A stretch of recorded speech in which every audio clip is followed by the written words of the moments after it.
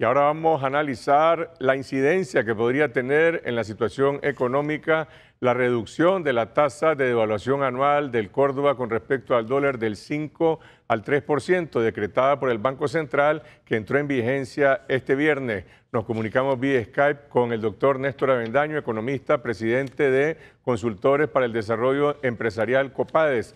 Néstor, hay una demanda general de información entre los actores económicos para que el Banco Central fundamente el porqué de esta reducción de la devaluación y sobre todo sus proyecciones a corto y a mediano plazo. ¿Qué efecto puede tener el silencio o la falta de información del gobierno sobre una medida tan importante como esta que apenas ha sido explicada en una nota de prensa?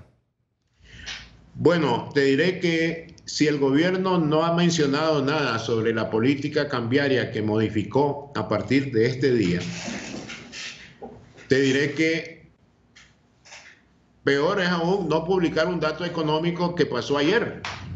Si no nos dice algo de hoy y mucho menos qué va a pasar en el futuro, lo fundamentamos realmente por inercia de que no nos cuente el pasado.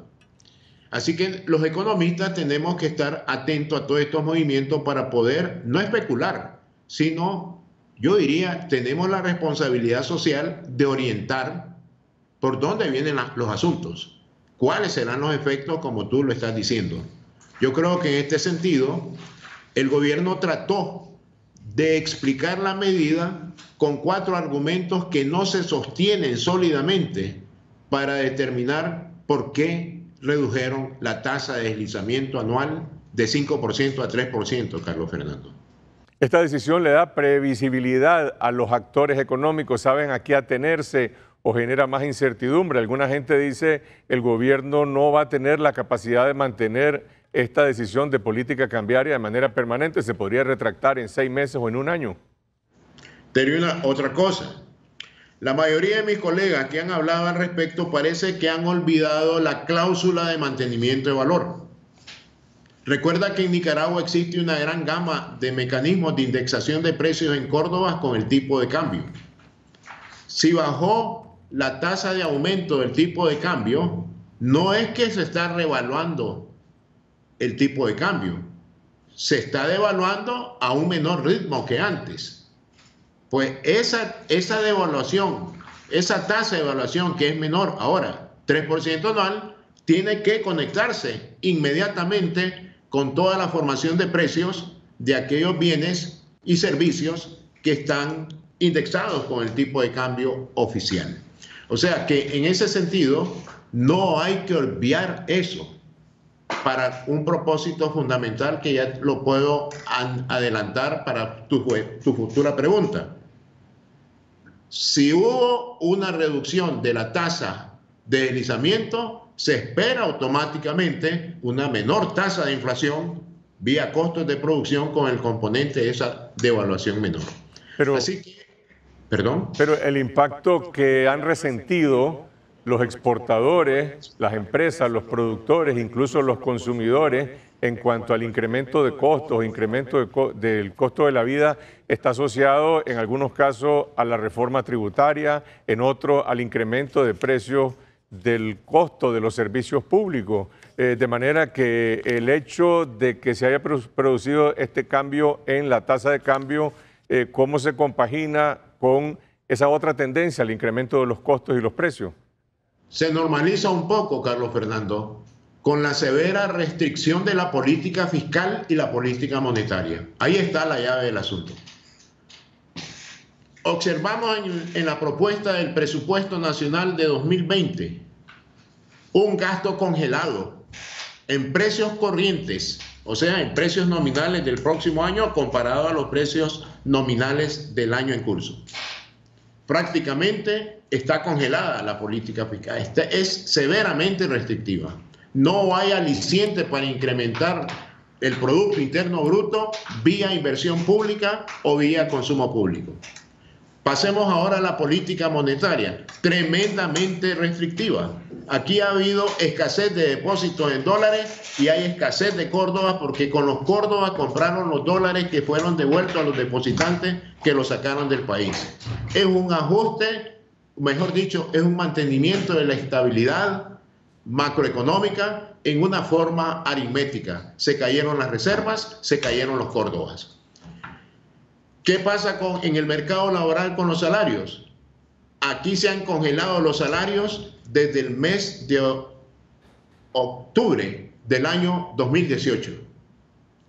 Hay una fuerte evaluación del Córdoba, del salario, del Córdoba manifestado en el salario. ¿Hay restricción o no en la compra de bienes y servicios de consumo? Claro que sí. ¿Qué le pasó al índice de precios al consumidor, estimado Carlos? Voy a dejar a un lado la, fracasada política reforma tributaria que así le llamé el mismo día en que fue publicada.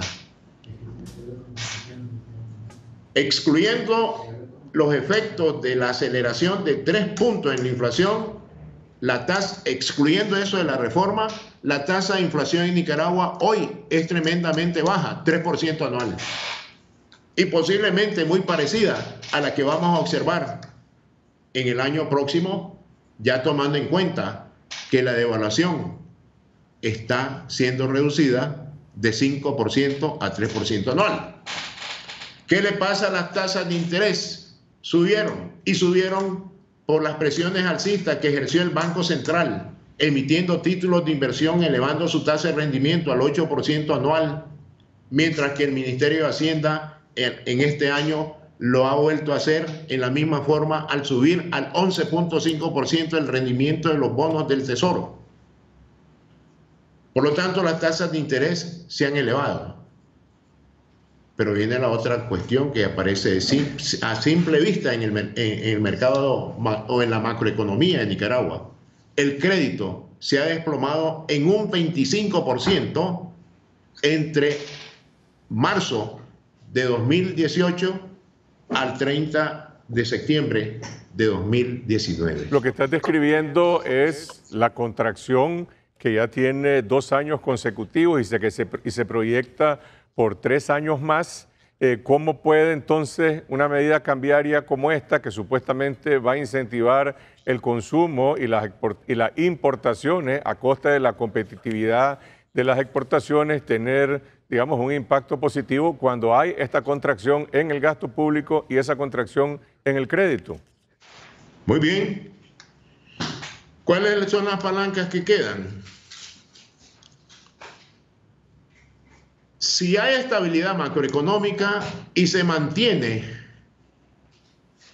la recesión económica, que no la hemos dejado, ¿para qué queremos estabilidad? Sería la pregunta. De nada sirve la estabilidad. ¿Qué es lo que hace falta? El mecanismo para financiar, o mejor dicho, el medio para financiar ese crecimiento económico. Pero aquí hay un grave problema de desconfianza, hay un grave problema político. Siempre, no, siempre voy a reiterar que para resolver integralmente este problema se requiere de un diálogo entre las autoridades nacionales y los representantes de la población, sean quienes sean, pero el diálogo es necesario. Dejemos al lado esta observación política, pero quería reiterarla porque no, la, no abandono el diálogo. Pero eso es una observación importante porque uno escucha al presidente del Banco Central y al ministro de Hacienda y le siguen atribuyendo esta recesión a lo que ellos llaman pues, un intento fallido de golpe de Estado sin reconocer las responsabilidades del gobierno. Es decir, están ofreciendo otra vez parches económicos a un problema estructural que requiere soluciones políticas. No, pero sabes una cosa, si la economía está totalmente como la aplaudiría el Fondo Monetario Internacional, que está en una restricción fuerte, hay una contracción sólida, fíjate la palabra, este, la contracción es sólida, solo falta el crédito. Solo falta el crédito. Pero no un crédito basado en una emisión inorgánica de dinero que vendría a voltear todo lo que te he comentado anteriormente. Incluso en noticias informales me comentaba un economista que se está ya rumorando ahí la posible solicitud de un préstamo del FMI al gobierno de Nicaragua. A mí me extrañó mucho esa noticia. Voy a, a esperar que la confirme el FMI. Pero en el fondo lo que te quiero decir es que si en ese escenario macroeconómico que te pinté,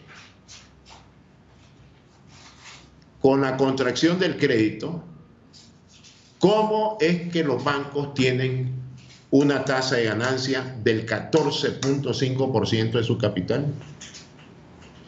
Es una buena pregunta para el sistema financiero. Yo tengo mi hipótesis, estimado Carlos Fernando. ¿Qué han hecho los bancos hasta el día de hoy si no dan crédito para mantener una tasa de rentabilidad que pasó de 23.9% del capital en septiembre de 2018 a 14.5% en septiembre de 2019. ¿Cómo es eso? ¿Por qué mantiene, aunque, aunque se redujo la tasa de rentabilidad, sigue siendo importante, sigue siendo positiva, no hay pérdidas? ¿Por qué? ¿Qué es lo que hace la banca? La banca. Una sencilla operación hacen los bancos. Los bancos son como casas de cambio en este momento en el país. Y tú sabes que existe un tipo de cambio de venta del dólar y un tipo de cambio de compra del dólar en el mercado financiero y la brecha con respecto al tipo de cambio oficial origina utilidades a las entidades bancarias. ¿Es ese el negocio del banco? Mi respuesta es no. El negocio del banco es conceder crédito. Por lo tanto, yo estimo que con la reducción de la tasa de deslizamiento de 5 a 3, se está restringiendo la tasa de rentabilidad de los bancos si siguen operando con la compra y venta de dólares. O sea, en mi opinión, lo interpreto como un mecanismo para que traigan los depósitos que se fueron, no sé cómo lo van a hacer, y comiencen a conceder el crédito a personas que sí pueden recibir préstamos en momentos de una severa contracción, en momentos de una severa iliquidez global de la economía, no hay córdobas, no hay dólares. O sea que esto tiene que reactivarse vía crédito. y en ese sentido, Carlos Fernando, los banqueros tienen la palabra. Pero el gobierno no puede intervenir y tomar una decisión por los banqueros para que amplíen el crédito. Veámoslo ahora por el lado del sector exportador, que no de hoy, sino desde hace meses atrás está resintiendo el incremento de costos como resultado del impacto de esa reforma tributaria y de otro tipo de servicios. Ahora se reduce la, tasa de devaluación, con lo cual pues, las exportaciones eh, perderían un poco más de competitividad. ¿Cuál es el impacto neto que puede tener esto en el sector exportador? Es un impacto parcial, te, lo digo, Es un impacto parcial, no es, no es lo que condiciona la competitividad de nuestros productos en el exterior. Esto tiene que ver incluso con el rezago cambiario en términos reales. Fíjate, ¿para qué sirve el tipo de cambio nominal? Sirve solo para una cosa, estimado Carlos Fernando, para pagar deuda externa. Para eso sirve el tipo de cambio nominal, ese que nos publica diariamente el Banco Central cada mes. ¿Cómo se promueve el esfuerzo exportador? Mejorando el nivel del tipo de cambio real, o sea, en precios constantes.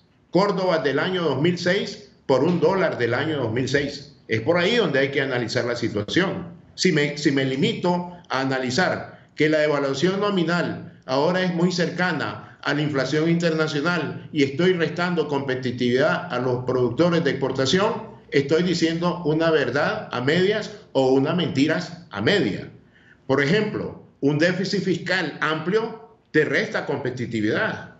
Por ejemplo, una emisión fuerte de dinero en forma inorgánica te resta competitividad. Pero si tenemos un déficit fiscal cercano a cero, cercano a cero, o una relación liquidez-producción aceptable en términos de promover competitividad, pues prácticamente estos dos elementos son mucho más importantes que la tasa de evaluación nominal que no está afectando a Nicaragua el tipo de cambio real desde hace muchos años. Veamos el caso de las familias que son receptoras de remesas que envían sus familiares desde Estados Unidos, desde Costa Rica, España, Canadá.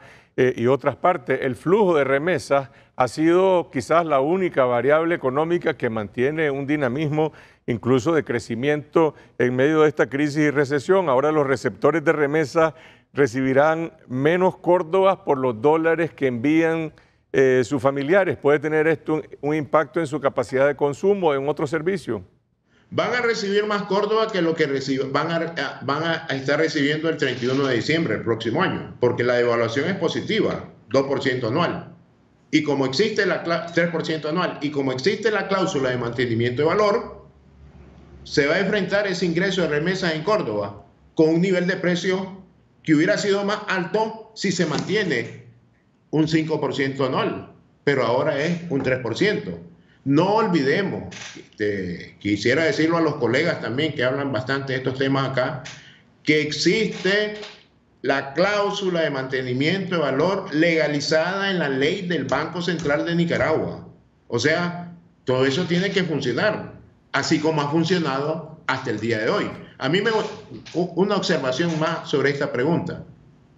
A todos los que nos están diciendo que ahora van a recibir menos y van a perder, ¿qué me dirían si les digo que en vez de haber bajado de 5 a 3, subió de 5 a 10? ¿Van a ganar? Creo que no. Todo sigue igual. Porque si suben al 10%, así van a subir los ingresos, o sea, de las remesas, y la inflación con que se van a gastar esas remesas. Lo que estás diciendo este es que los receptores de remesas no van a ser perjudicados al recibir menos Córdoba cuando se reduce la tasa de devaluación. Por supuesto, por la cláusula de mantenimiento de valor, así como no va a perder ningún jubilado, como ya he escuchado muchas observaciones que los jubilados han perdido. Yo, yo invitaría a los economistas que dicen esto que lo demuestren y la, y, la, y la gran pregunta, la reitero, si bajamos de 5 a 3 y me dicen que perdemos, ¿qué ocurriría si hubiera subido de 5 a 10? ¿Ganamos? Yo creo que se pondrían a meditar para analizar un poco bien esa respuesta. Es un tema importante para abrir un debate nacional entre los sectores que están asociados, digamos, a los servicios de la seguridad social, los receptores de remesas y otros, porque realmente hay una preocupación amplia, principalmente por la falta de información del gobierno en relación a este tema. Vos estás sentando eh, un punto de vista sobre esto, hay otras opiniones en relación al punto en lo que pareciera que no hay eh, discrepancias, es en el hecho de que no se sabe qué impacto puede tener este tipo de medidas en cuanto a dinamizar la economía nacional si las otras palancas que, que mantienen esta recesión eh, no están siendo afectadas por esto y principalmente la palanca política. Cualquier política económica, cualquier estrategia económica, sin un acuerdo político, corre el riesgo de fracasar. Ese es el gran problema que estamos viendo. Yo creo, Carlos Fernando, que el tema económico veo una fuerte, lo voy a resumir así, una fuerte contracción con una fuerte, persistente recesión que tiene que ser rota con dos palancas, una política y otra económica. La política ya la sabemos a través de un diálogo, la económica ya se está entendiendo a través del crédito.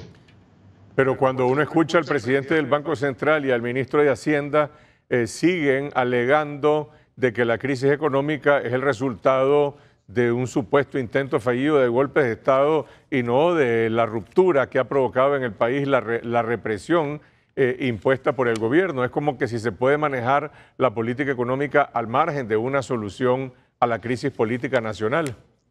No puede, no puede ser porque ya sabemos que existe ese fuerte binomio de política y economía van de la mano, como decimos vulgarmente. O sea, vulgarmente en el sentido de la tradición popular.